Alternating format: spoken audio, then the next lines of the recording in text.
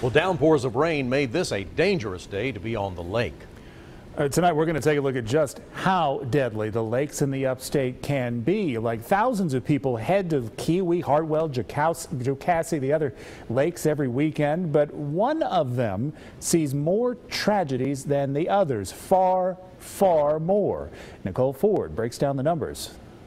The two most visited lakes in the upstate are Lake Keowee and Hartwell, but in the last 25 years, one has claimed nearly four times as many lives than the other. As you look at the moving waters on Lake Hartwell. 10.2 million visitors per year. Uh, we get boaters from Georgia, North Carolina. And see the words swimming, boating, tubing, you think fun.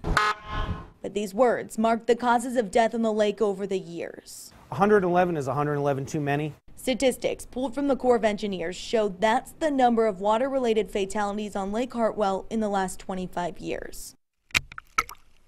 Comparing those numbers to Duke Energy's statistics for Lake Keowee at 36 and Jocassee at 4, it makes Hartwell the upstate's deadliest lake. So the question comes down to why. Anderson County has roughly 30 different boat ramps in addition to parks and, and, and places where people go swimming where fatalities occur.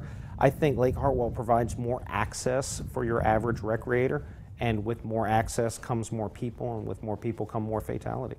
As the lake grows in popularity, as do the number of people who may not know their limitations. That most recent drowning that we had was a kid who was trying to swim from Singing Pines to the dam, which is only about 450 feet. But if you're tired, you don't get to take a break in 80 feet of water. So Hannah wants boaters and swimmers to know that never think it can't happen to you and always wear a life jacket to be safe. I have yet in 13 years to work an unpreventable death on a body of water.